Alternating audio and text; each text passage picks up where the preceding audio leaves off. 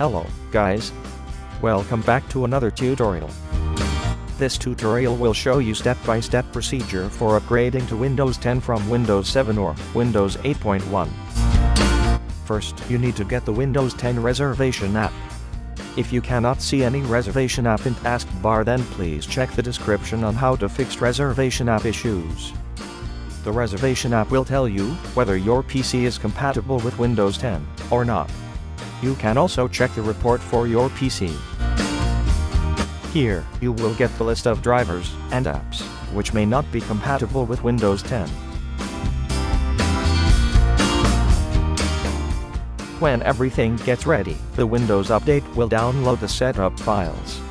If you don't see anything downloading, then you can check the following folder.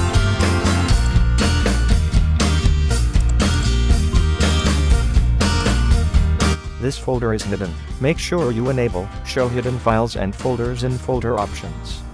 If this folder is present then wait for the download to finish and you will get the pop-up when everything gets ready.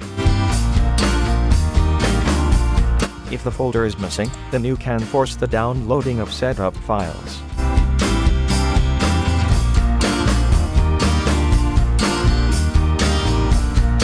Wait for the update to finish.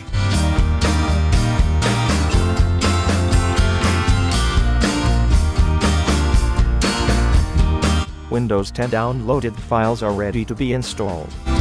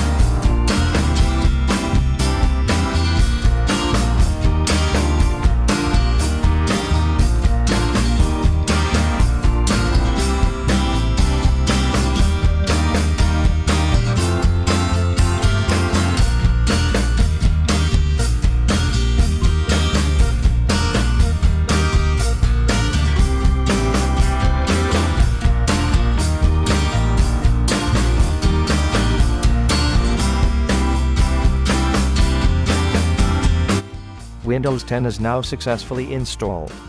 You can also check the activation in PC settings.